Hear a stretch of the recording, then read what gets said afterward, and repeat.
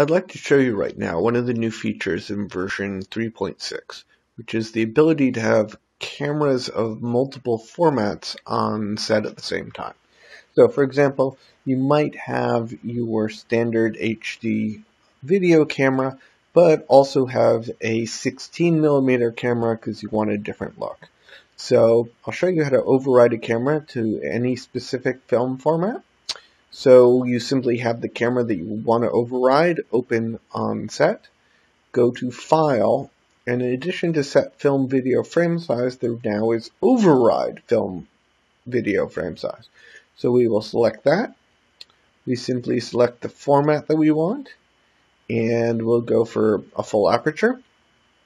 We can set the minimum zoom, the maximum zoom, unlimited, etc. Limited prime collection, just like you can normally, except for this would only affect this one specific camera.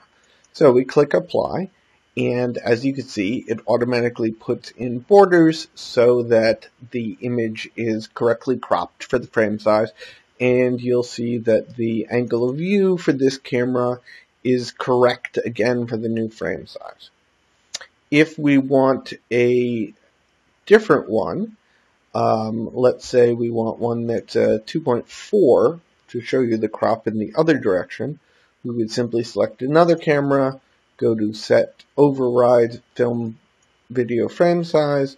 Let's make this the anamorphic 2.4 and apply that and you can see that it puts in the vertical crop. That's about it. From here on in, any shots you Snap will know the uh, appropriate frame size for this specific camera, and you now have multiple cameras on the set. And that's about it.